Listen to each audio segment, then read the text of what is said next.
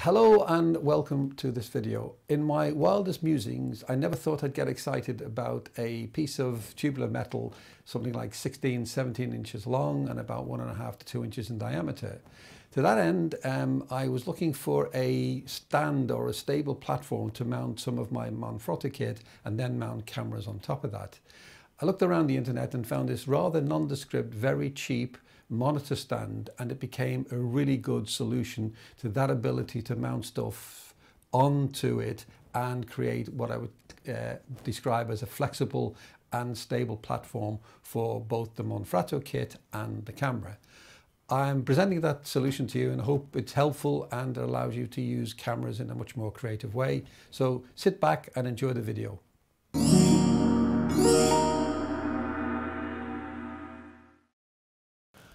Okay, here we have the monitor um, stand and arm. It's as it is. It, this is the 16 pound uh, arm, which is very, very useful. I've actually bolted it to the desk. I've drilled a hole into the desk and it's, it's clamped underneath. And as you can see, it's pretty rigid. It's, it's as rigid as, as it could be. The arm itself is actually quite useful. The arm would normally mount the monitor and you would have that sort of two degrees of freedom with the monitor. However, in this particular case, I've used this as a means of actually uh, mounting a camera. So this is the Visa plate that you would lo lock your Visa plate into to go onto your monitor. Um, I've drilled uh, a hole here which is um, just over a quarter of an inch so I can actually mount on there anything I want to in terms of uh, so for example, I could have, I wanted to, mount this little uh, articulating arm here and I could place a quick release on there and that would allow me to have that on there. It's not substantive in any sense, but at least it's a, it's a first pass of being able to, you know, to have a device on here. I've also mounted a GoPro uh, mount here, which if you wanted to put a GoPro on there. So that would give you uh, a, a pleasant sort of uh, easy use, uh, free of use in a sense, we, because basically the primary use of this is going to be what I add to it later in terms of the, uh, the Manfrotto uh, kit. So that would stand uh, in good stead for most small applications you'd want to use for a, a camera. Obviously limited to the amount of travel uh, to the post here. The post is about 17 inches high. So that's the limit on, on the height you would get. And that's basically how I'd use that. The next sort of stage up on this would be to use the um, the uh, the the Manfrotto, is it Manfrotto or Manfrotto? I'm going to call it Manfrotto from now on, or Manfrotto, it doesn't really matter. This is their super clamp, and the super clamp is actually an amazing piece of kit. This actually super clamp has a couple of configurations, uh, one of which is if you want it as a desk clamp, there's a plastic wedge here, you can see the outline of it there. That plastic wedge will allow you to mount it onto a desk here and you would tighten that onto the desk and then you would mount into here. The mounting's quite interesting. Um, you can see here you've got um, a couple, well you've got three quarter inch threads where you can actually mount anything that will take a, sorry, yeah, three quarter inch, anything that's a quarter inch you can mount on there. And then we've got this proprietary um, Manfrotto um, way of actually mounting stuff onto it. And the way to do that is to actually you get these sort of uh, studs. This is a, a, hexagonal stud, which you can get with different uh, with different threads on them. Um, this is a quarter inch, I think it's a 3 eighths. So if I wanted to use that, you can see it fits nicely into there. And then in order to drop it into its bottom position, there's a pin here. Let me just show you in detail. As you can see there, let me get in the right angle, there's a pin with a, with a cutout in it. So obviously, let me just push the pin again. That cutout will allow you to lock that into there Once there's enough, make sure this is out of the way because you'll, you tighten her up with that. So at the moment now, if I push that pin, it's an awkward angle to use it. So that's now in there, it is loose. It won't fall out because the, the, the, the actual locking pin puts a slot in it and it holds it together. And then if you wish to tighten it up, then you just tighten this and that will make it extremely tight in there. And whether you use the quarter inch end or the 3 8 inch end, you can screw onto here whatever you want. As a first pass, let me just um, invert that. And what I'll do is, this is sort of the bargain basin stuff in terms of what you need to do. Let me just get this out here. It, the spring's quite tight in that. So if I go to the quarter inch end of it, and drop that in, as I say, it's quite awkward trying to do this to camera, but let's carry on with that and I tighten that up. And what I can do is I can stick on the end of that this Manfrotto um, flexible arm here. So this flexible arm here, I can screw into there, either 3 eighths or a quarter. I think a quarter is probably a bit weak for something like this. I would uh, plumb for going into the 3 eighths end. So once that's in there, that's going to be very, very tight in there. And I can actually then mount. Now, in order to mount it onto uh, anything that's circular, you take that out and you get a nice little V shape to lock into here. And when I tighten that up there, you can see that will allow me to tighten onto the arm here, onto the, my, my stand, and then I can flex this to whatever position I want, okay? And then if you want to add anything on the top, there are many ways of doing it, but this is actually a camera bracket. Let me just, uh, yeah, that's a camera bracket. You can see the bracket has these holes in, which allow me to drop this into here, and I can tighten this up. Get it right? Tighten that up and I've now got, let me go down a bit lower so you can see it. I've now got a, a sort of um, camera bracket here and I can mount lights, flashes, cameras, whatever. I've put a little um, ball joint in here with a quick release plate. So if I want to pop a camera onto there, let me do this. Um, I just have to drop the camera into there and away it goes. Make sure we're in the right position there. Let's always get it right, Mr. Murray. So pop that into there. So that camera is now in there. I'll drop it down a little bit so you can see it. So I've got the camera in position there and you can see it's very, very wobbly and obviously this camera is a little bit too heavy for it. So you probably would only want to mount a GoPro on there. I wouldn't go any, any, any heavier than that. Obviously when it's, it, it's in a, a, flex position at the moment, but if it was in a vertical position, uh, it, it's quite, it's fairly stiff and you would get away with mounting something a little heavier. So the next step up, let me just take this out. The next step up in terms of what you would mount on there would be to go to the um, the Manfrotto uh, the Manfrotto variable friction arm. Here's the, the, the the variable friction arm. Now this is a this is head and shoulders above um, what you would need in order to, to, to mount stuff. So you would then place this into here and this variable friction arm, it's solid and it's all controlled from the one point here.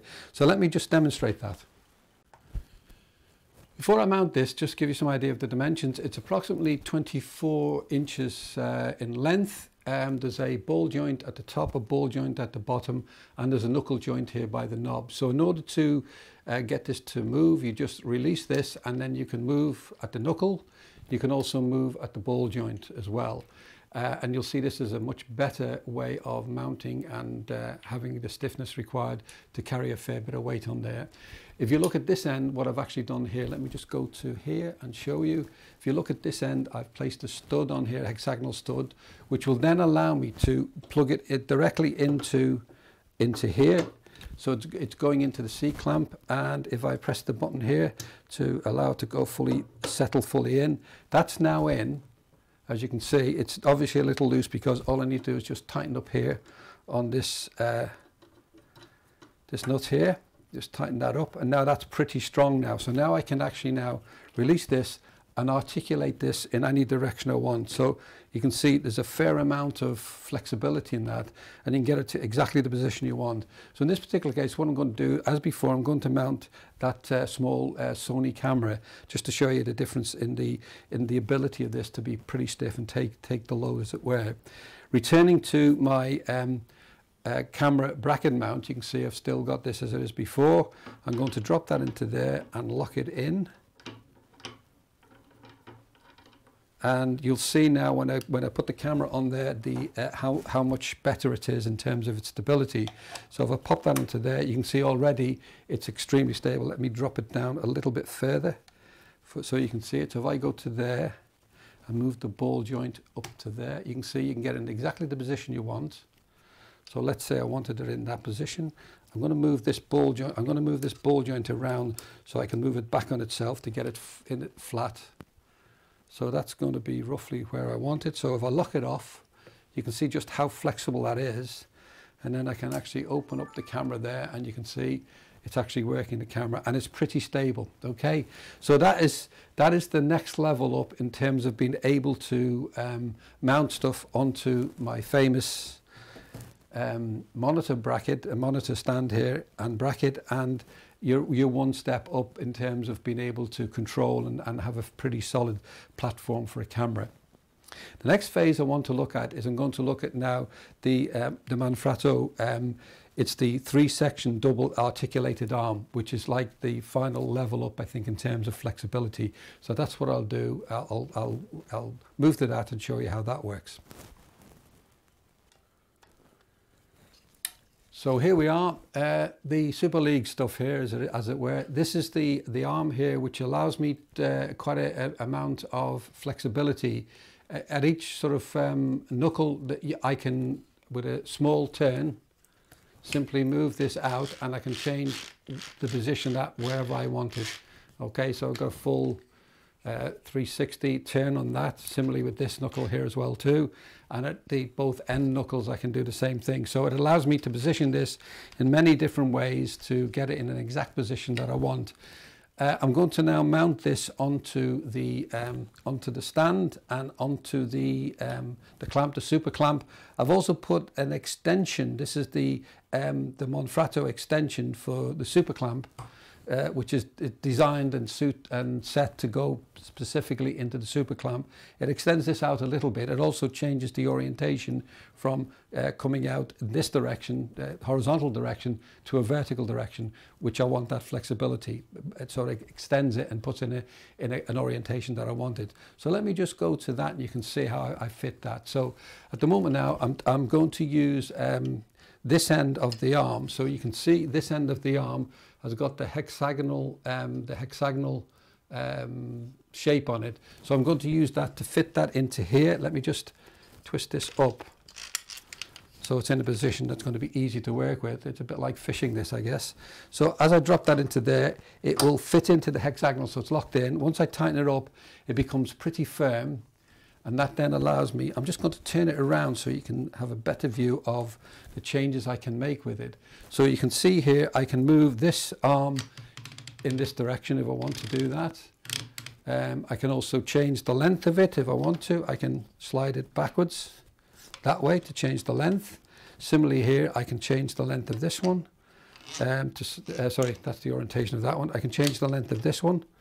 So if I want to bring this a little closer, I can push that that way. So you can see it's pretty dynamic in, in the changes in the length it can make. You've got this up and down movement on my stand here, the stand, the famous stand that I've talked about before. And that allows you to a lot of flexibility in what you can hold in here. Um, this will then allow me to put, as I did before, said he trying to find it, I can actually put the, um, the camera bracket on here and that'll give me a, just a little bit more flexibility. And I'm just turning around to find the camera bracket and the camera bracket is here. Let me just get it off here. Bear with me a second. Just got to get that out. So, okay, so there's the camera bracket. So now I can put the camera bracket on here. And I've now got uh, this onto here. And that will allow me to mount the camera onto here. So I can actually take the camera and mount the camera. And let me get that camera again. I picked this particular camera because it's, it's slightly heavier than some of the, uh, the, the, very small uh, mirrorless cameras. But you can see now I've got this and I've got the ability to use the ball joint to place the camera in whatever position I want. Uh, I can change the orientation of the plate as well too. So there's lots of flexibility in, in being able to mount. So if I take that like that, I can do that. I can also change its position that way if I want to do that. Uh, so you can see, you can practically place the camera wherever you want the camera to be. It's as simple as that. So that's sort of the, the, the next level up, and that's probably the level that, um, that you will cover most of the things you want to cover. So um, I hope that's been useful. I've gone through the different permutation combinations. What I'm going to do now is I'm going to set it up in a configuration that I have it permanently, which allows me to use it on uh, this front-facing desk here. And I've got a side desk to my right here, which allows me to swivel it around and use it on that desk. So you've got a lot of flexibility.